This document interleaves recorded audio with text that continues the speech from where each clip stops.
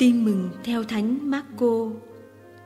Khi ấy, Đức Giêsu thấy một đoàn người đông đảo thì chạy lòng thương, vì họ như bầy chiên không người chăn dắt.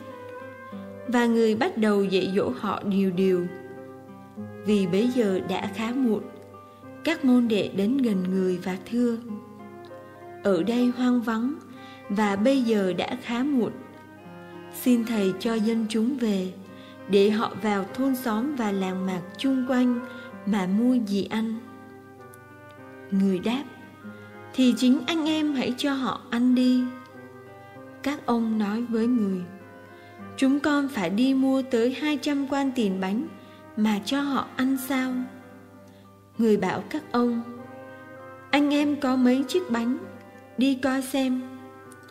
Khi biết rồi, các ông thưa có năm chiếc bánh và hai con cá. Người ra lệnh cho các ông, bảo mọi người ngồi thành từng nhóm trên cỏ xanh. Họ ngồi xuống thành từng đám, chỗ thì một trăm, chỗ thì năm mươi. Người cầm lấy năm chiếc bánh và hai con cá, ngước mắt lên trời, dâng lời chúc tụng, rồi bẻ bánh ra, trao cho môn đệ để các ông dọn ra cho dân chúng người cũng chia hai con cá cho mọi người.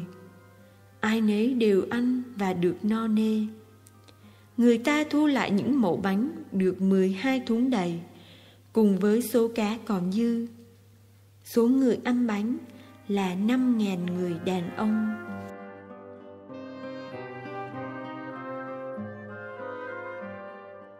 Chạnh lòng và chia sẻ với cách mô tả chân thực và cụ thể.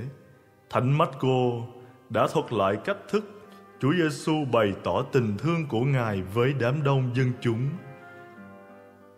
Tiên vàng Ngài thấy, kế đến là chạnh lòng thương và sau cùng Chúa Giêsu bắt tay vào hành động. Chúa Giêsu cung cấp lương thực cho đám đông dân chúng, bao gồm cả bánh là lời hằng nuôi dưỡng tâm hồn và bánh ăn bổ dưỡng thể xác. Tuy nhiên, điều quan trọng hơn cả là cách thức Chúa Giêsu huấn luyện các môn đệ tiếp nối sứ vụ của Ngài, tiếp nối sứ vụ bẻ bánh cho anh chị em. Ngài cũng huấn luyện các môn đệ biết chạnh lòng thương xót tha nhân, một miếng khi đói bằng một gói khi no. Lòng cảm thương chia sẻ dù chẳng đáng là bao, còn quan trọng hơn số lượng vật chất. Và sau cùng, Chúa huấn luyện các môn đệ hành động bằng cách dọn bàn ăn cho dân chúng. Từ năm chiếc bánh và hai con cá, năm ngàn người đàn ông, chưa kể phụ nữ và trẻ em, đã ăn và lại còn dư. Các môn đệ đã vượt qua điểm chết của lối sống vị kỷ để biết nhìn ra nhu cầu của tha nhân, chạnh lòng thương và chia sẻ những gì mình có.